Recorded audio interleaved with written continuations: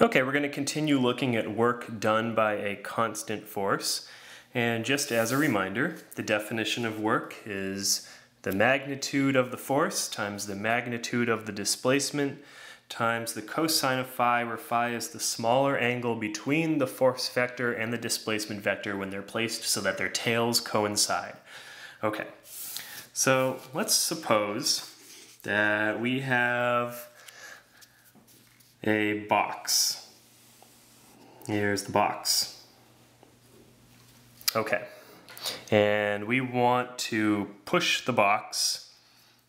So here's a person with very long arms pushing the box. And we're going to push the box from here over to there.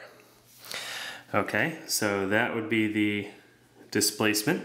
And let's assume that we push parallel to the ground here so that the applied force is in this direction. So that's our FA, that would be applied force.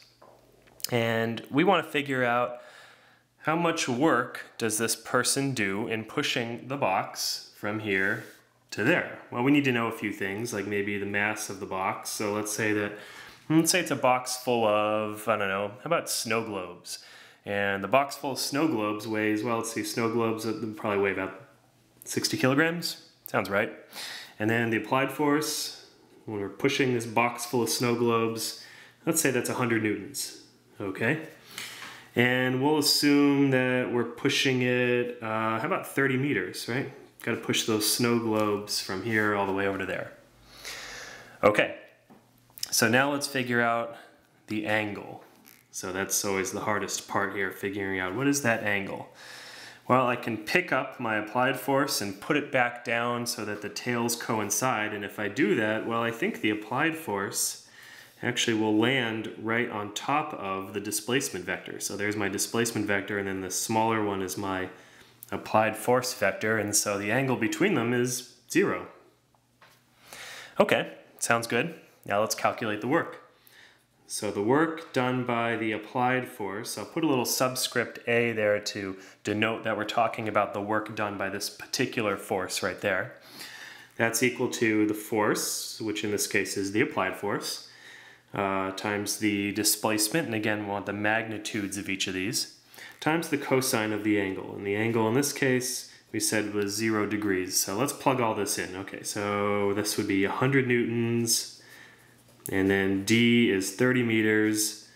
And we said that the angle was zero degrees. And if you type all this into a calculator, you get something that's about 3,000 joules.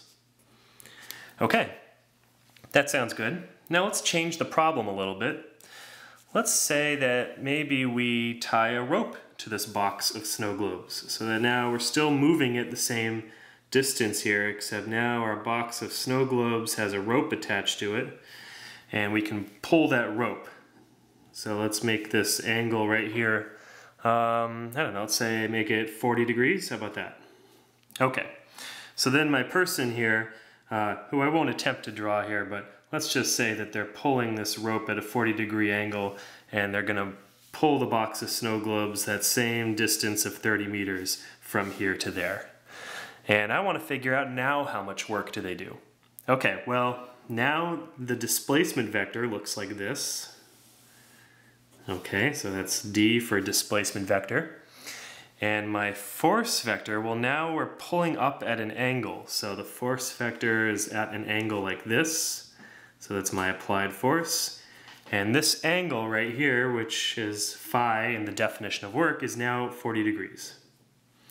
Okay, so the work done by the applied force is the applied force, magnitude of the applied force, times the magnitude of the displacement, times the cosine of the angle between the applied force and the displacement when they're placed so that their tails coincide. Okay, let's plug in. This is still 100 newtons. This is still 30 meters. Except now our angle has changed. Our angle is 40 degrees. And if you calculate this, it ends up being, oh, about, if you round, about 2300 joules. So you can see now that the work has changed. It takes less work now that we change the angle. And so when you're calculating work, the angle makes a difference. You really got to pay attention to what that angle is. It really will make a difference in the problem.